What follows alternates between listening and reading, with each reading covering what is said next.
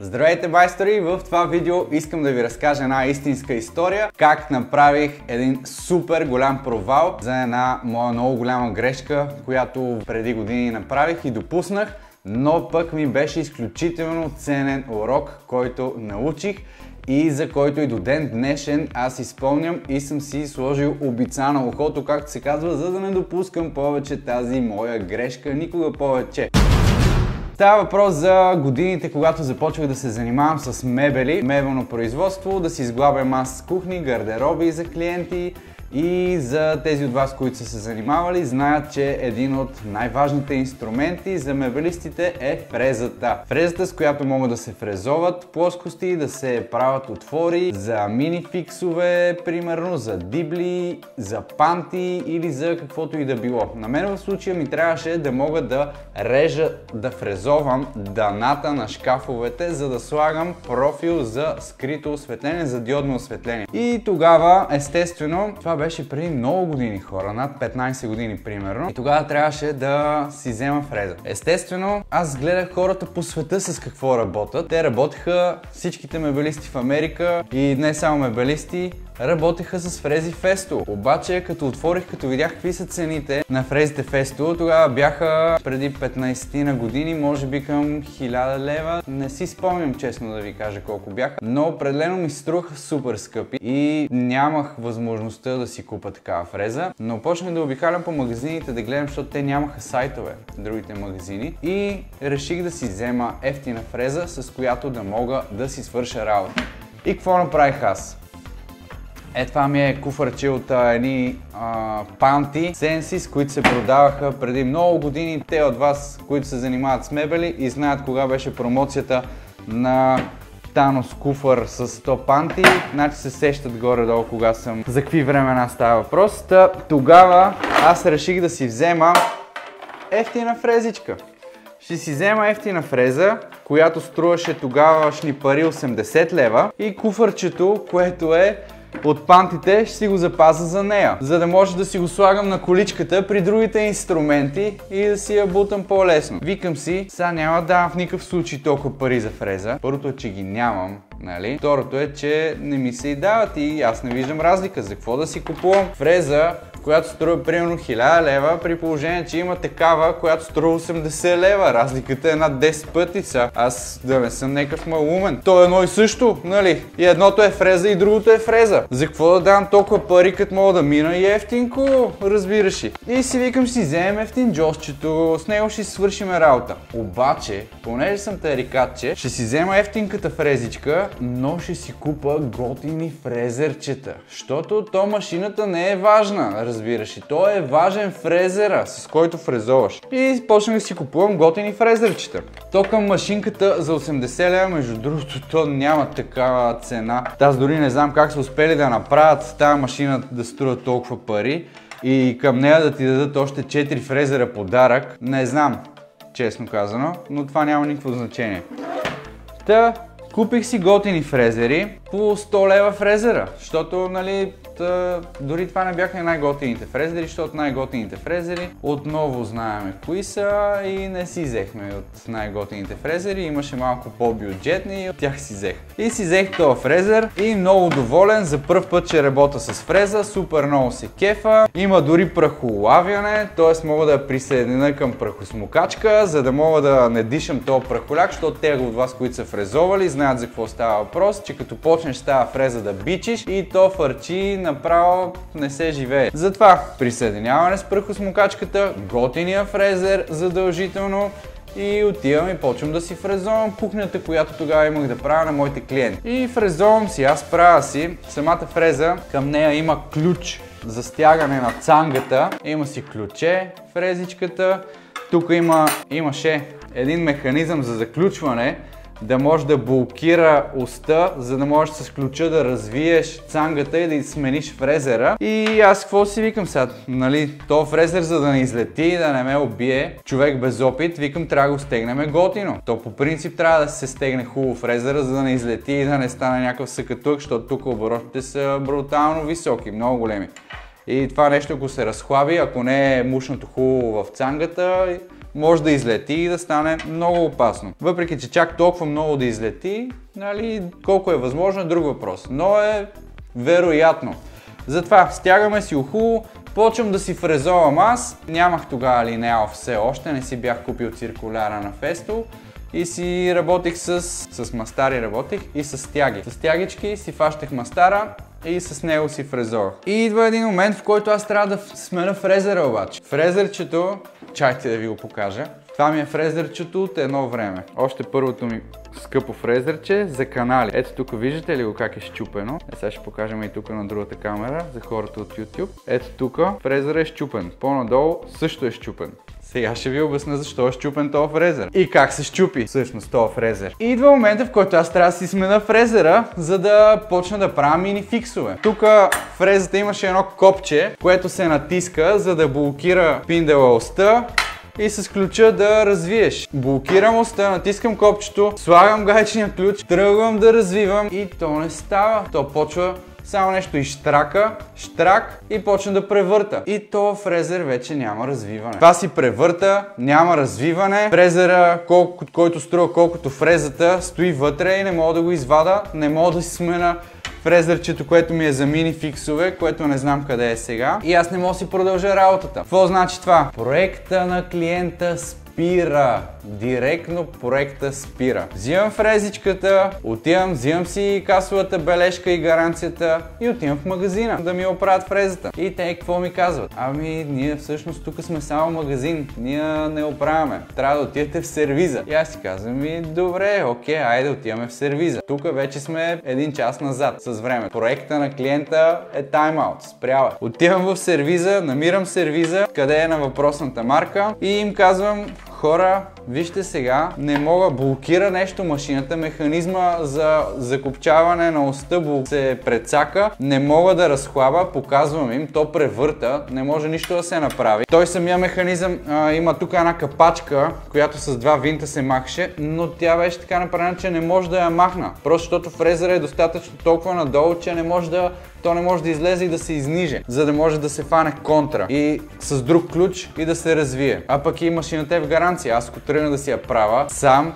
те няма да ми признаят гаранцията след това нещо, ако стане, нали? И им казвам, моля ви се, хора, разблокирайте ми я, оправете ми я, само че ми пазете фрезера. Този фрезер съм дал 80 лева за него. Той струва колкото тази въпросна фреза. Моля ви, пазете ми фрезера, да не ми го щупите. Фрезата не ми дреме толкова за нея, колкото ми дреме с този фрезер. Защото вече видях за какво става въпрос с тази машина. И те ми казват, да, да, окей, няма проблем. Оставям фрезата в сервиза, аз не мога да работя вече. Проекта е спрял не мога да си свърша работата. Съответно от а, тия фрези нямат друга, която да ти дадат, за да можеш ти да работиш и да си свършиш работата. Обясняваш се на клиента, излагаш се като кифладжия там и това е. И ми звънат след известно време, че машината е готова. То всъщност те, като ми звънат, аз много пъти им звънях всеки ден да ги питам какво става, готова ли е вече машината да ходя да си я взимам. И един от дните вече казаха, че машината е готова и мога да отида да си я взема. И аз отивам да си я взема машината от сервиза и първото нещо, което гледам не е дали са ми оправили машината, тук дали са ми сложили това механизъмчето за, за включването на оста. Първото нещо, което гледам е дали са ми щупили фрезера, защото той ми е важният. И какво се случва? Познайте, еми фрезера е щупен. Ето както изглежда, аз затова този фрезер не го фърлям. Този фрезер си го паза да си ми стои като обица на ухото. Също се отнася и за тази фреза, дето толкова много я намрази, че не искам да я виждам, но си казах това нещо трябва винаги да стои при мене, за да може следващия път, когато реша да си купа супер ефтин инструмент, аз да знам какво ще стане.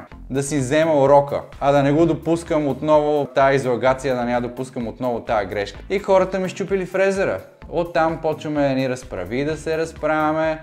Аз им казвам, че трябва да ми го платят, те ми казват, че няма как да ми го платят и те не носят отговорност за него съответно. И както се досещате, то ефтините инструменти са съпроводени и от ефтино обслужване. И хората, които оправят такива неща, те са с ефтини маниери. Тоест, там няма професионализъм. Ти не можеш да изискваш професионализъм от човек, който оправя фрези за 80 лева. Не отдали му дреме дали ти изчупил фрезера или не му дреме. Въобще не го интересува този човек. Не знам дали е било така в случая, така разсъждавам аз. Може и по, по грешка да съдя хората, няма никакво значение. Това, което мен ме интересува е крайният резултат. Ето го, щупене. Не мога да го използвам повече. И какво става? Оттам трябва да си купим едно фрезер. Айде още 80 лева. И първото нещо, което правиме, след като са ми оправили фрезата, е да махна скапания защитен механизъм за заключване на оста, за да съм сигурен, че тази грешка няма да се повтори никога. И аз винаги, каквото и да става, ще мога да развия цангата, за да смена фрезера. Слагам си в куфърчето още един гаечен ключ и аз ставам като автомеханик. Ходим си с няколко гайчни ключа, да мога си развивам цангата и да си сменям фрезерите на въпросната фреза, защото естествено, то за тия пари, какво да очакваш? И аз бях супер редосан, това е най-интересното, че аз много се ядосвам. Как така? Но сега осъзнавам, че то за тия пари не мога да изисквам каквото и да било качество от тази машина. Все пак аз съм я взел на цената на един фрезер. Така че откъде на къде аз ще изисквам някакви такива претенциозни качества, да може да си задържа тя фрезера, да мога да го извада, да не говориме нали, за точности и за някакви други неща. Говориме за някакви елементарни неща. И просто си казах, аз нямам право да изисквам от тази машина тя да може да прави такива неща. Да може да и се заключи хубаво механизма, да може да има супер прецизни настройки. Аз съм дал 80 лева. В моята глава е мисленето, че тая машина ще има същите опции, която има тая машина. Но тази е 10 пъти по-скъпа, съответно. И аз си мисля, то е едно и също. И двете са фрези, и това е фреза, и това е фреза. Значи това ще прави същите неща. Да, обаче не, не ги прави. Първо, чупат ти инструмента, за който си платил супер много пари. Второ, нищо не е както трябва. Да, да, може да си свършиш някаква работа, може да започнеш, много е добра за начинаеш, но след една седмица работа, когато задобрееш супер много, ти виждаш, че това не е което ти трябва и на тебе ти трябва друга машина. И в момента, в който осъзнаеш, че ти трябва друга машина, ти вече си с едни пари назад. Това ще рече, че когато първоначално не си купиш инструмента, който знаеш, че трябва да си купиш, а искаш да минеш тъничко и ефтинко, ти си го купуваш този инструмент два пъти. И то два пъти в добрия случай, защото има хора, които си взимат ефтино, след ефтино, след ефтино, след ефтино и след 5 години като дръпнат чертата и то малко сме надвишили стоеността на готиното, което си го купуваш веднъж живота и знаеш, че ще си бачкаш с него цял живот и няма какво да стане. И след това, какво става? Сменили сме фрезера, прежалил съм го, не го изхвърлям нарочно, за да ми седи и да си го гледам и да си спомням този ценен урок, че ефтиното излиза скъпо. Аз решавам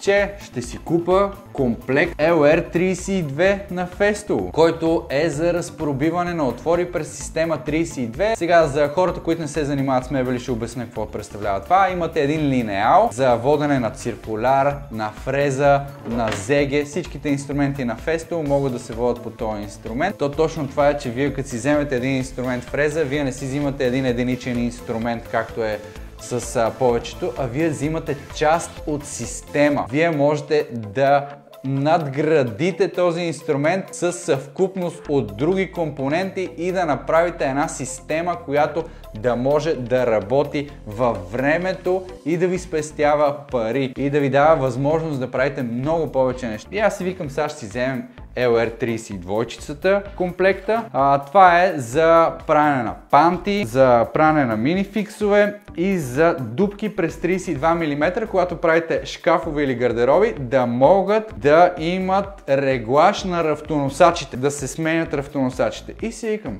аз съм си терекатче, с моята ефтинджоска фрезичка ще си направя присъединяването върху тази планка, защото то реално погледнато не е нищо особено. То, какво толкова? То е една планка, където трябва да закрепиш фрезата, за да можеш да я водиш по линеала после и да си дупчиш на местата, които ти трябват. Взех си я тази системка 32, много готина, много удобна и почнах да мисля сега как да направя присъединяването тук на въпросната фреза. Защото то не става с фабричните чаркуляци, които Фестил са предвидели, аз трябва да побългарим малко нещата, нещо ще трябва да барнеме повече. И от тук има едни отвори, които са и аз си викам, почваме вече дупчене. И фактически какво правих? Е, тук е тия винтове, които са. Аз започнах тях да ги използвам и да си а, правя мои си дупки по основата на фрезата. Аз вече съм я прежалил, не ми дреме за нея, надупчил съм я от всякъде, да мога да си я приспособявам по начини, които ще ми вършат работа. Та надупчих я цялата, за да мога да я приспособявам и то какво става? Еми, то приспособяването па не е толкова точно да му се не види. То почва да бяга. А пък тези от вас, които се занимавали с мебели, знаят, че при мебелите дори 1 мм грешка е доста голяма грешка и се усеща и се вижда и пречи на шкафа. Примерно в случая, когато това нещо се направи, когато се центрира с центриращия механизъм фрезата върху плочата за водене, тя се разместваше супер много и не можеше да застане правилно, за да може да имам точни и еднакви отвори навсякъде. И какво се получаваше? Шкафа има две страници. Когато направиш дупките от едната страна на страницата и отидеш на другата страна на страницата да правиш дупките, и когато имаш примерно 1 мм разлика, то в единия случай ти се получава 1 мм нагоре, а в другия случай ти се получава 1 мм надолу. И това вече, тая грешка се дублира. Вече става дабл грешка. И от 1 мм грешка ти вече правиш 2 мм грешка. И това не е обаче най-лошото, защото те ако са еднакви от двете страни, то просто рафта ще е само малко настрани и нищо кой знае колко. Суко дори ще е много трудно да го забележи обикновен човек. Но това, което е, проблемното е, че ти за да направиш на една страница отворите отпред и отзад, ти от едната страна водиш линеала така, а от другата го водиш на така, на обратно. Едната страна водиш отгоре, от другата страна водиш отдолу. Това се получава едно посукване и едно брутално разминаване. Което, нали, ще ти кажеш, е то рафтоносач и не е чак толкова проблем. Обаче, какво става, когато започнеш да правиш отворите за пантите и отворите за минификсовете? Тогава вече тия грешки идват доста неприятни приятни и доста скъпи. Истината е, че си идват скъпи. И аз тогава вече осъзнах, че тарикатлъкът ми да си взема ефтино от немотията и започването те първа да работя мебели и да навлизам в тази сфера, на мен вече почва да ми излиза скъпо. Когато искате вие да направите нещо много лесничко и непретенциозно, да, ще можете да свършите работа. И определено това е много по-добрия вариант, отколкото 0 отколкото да нямате нищо. Защото разликата между 0 и 1 е безкрайност. Така че по-добре да имам това и да свърша някаква работа, отколкото да нямам нищо и да не мога да свърша работа. Така че, приятели, най-добрият инструмент е този, който инструмент имате, защото вие по лесен или по труден начин вие ще може да свършите работа. А пък вече ако ще се занимавате професионално и искате дългосрочно да работите това нещо, еми то със сигурност ви е много по-изгодно да си вземете още от началото качествения професионален инструмент, с който всички по света работят, за да си гарантирате, че няма да си късате нервите, няма да си губите времето, да обикарате по сервизи, няма да се излагате пред клиентите си, да закъснявате с крайните срокове, да паузирате обекта, да трябва да им се обяснявате тук сега машината ми се прецака еди какво си, еди що с клиента това не го интересува. Не го интересува да си влезне в новия дом по най-бързия начин, той си плаща за да работите вие и него какво го интересува, че вие сте си взели някаква ефтин джос машина и не може да свършите работата. В този начин вие се излагате пред тях, точно както се изложих и аз. И затова ви разказвам тази истинска история от моя житейски опит, как желанието си да мина ефтино, всъщност на мен това ми излезна много, много скъпо. Но, както ви казах, аз не мога да имам претенции и да се ядосам на нещо, което струва на цената на по-малко от един фрезер. Аз съм си го избрал, никой не ми го е дал на сила, просто аз е трябвало да мисля преди да си купа каквото и да било. И за това ви съветвам и вие помислете дали купувайки си най-ефтиното, вие ще можете време да вършите работа или ще дойде момента, в който ще трябва да купите истината. Тогава тези пари са дадени на вятъра и това ще ви стои просто за урок, за да знаете следващия път, когато решите да си взимате ефтино, какво ще стане. Точно както беше в моя случай. Така че ако искате, почерпете се от моя опит, внимавайте, какво си взимате. Както вече ви казах, по-добре е да си вземете ефтиното и да свършите работата на момента, отколкото да не можете да свършите работа, но ако искате да занимавате с това нещо дългосрочно, то ви е много по-добре да вземете правилния инструмент, защото после по време на работа в работния процес те изхъбите много по-малко нерви и много по-малко време ще загубите. Тук нагласенето на абсолютно всичко беше изключително трудоемко. Калибрирането беше зверска мъка. Точно го калибрираш и то след малко се размести всичко и ти трябва да го калибрираш отново. И ти губиш повече време за калибриране и нагласене, отколкото за работа. Но това е. То не може да изискваш повече от това нещо. Затова, приятели, надявам се тази история да ви е била поучителна, да сте преценили сами за себе си как искате да работите. Вашата фреза на Festo можете да поръчате още сега от линка в описанието. Тя ще ви е зверски полезна за фрезоване на всичко, на гипсокартон, на дърво, на всичко, което имате да фрезовате. Ще можете да го направите много точно и много прецизно прецизно. Защото истината е, че фрезоването трябва да е прецизно. Това не е хамалска работа, за да го нагласите едно към гьотере. Тук ви трябва прецизност и точност, за да може всичко да стане по най-точния начин, защото когато не стане, материала отива брак. И когато материал отиде брак, вие трябва да извадите пари от джоба си, за да купите нов материал, но когато материал е супер скъп, какво правиме? Тогава фирите са още по-големи и по-лошото е, когато не само материала е скъп, а когато материала се и чака, да кажем за някакви вратички, мебелни вратички, които са фрезовани, които са с орнаменти, са боядисани, когато вие не ги продупчите добре, задръжките, объркате нещо или нещо изпусне за пантите, еми вие тогава трябва да поръчате нови вратички, а те се чакат супер много време. И дори само боядисването знаете, че е над 100 лева на квадратен метър. Затова, ако не искате да рискувате да съсипете материалите, то вижте просто хората по света с какво работят. Дори не е нужно и да ми вярвате на мене. Вижте най-добрите по света с какво работят. Вижте ги в Америка, вижте ги в Германия, вижте ги в Англия, вижте ги навсякъде хората какво ползват, не е нужно да си вадите сметка и изводи от тук хората на местно ниво в България. Вие ще можете да видите те какво правят, а пък те хората по света, те са доста по-напред от нас. Каквото и да си говориме, колкото и да си мислиме, че сме супер умни българи, побългаряваме всичко оправяме, американците колко са зле, колко са глупави, еми окей, нека са си глупави, просто са толкова напред, че ние не можем да ги стигнем и сме 30 години след тях. Просто защото хората си знаят. Когато ти трябва трябва машина и ще работиш, взимаш си машината, която е истинска. Ако ще си правиш там един домашен проект, ето, вземи си машинката и не дай да имаш претенции към нея, като ти забие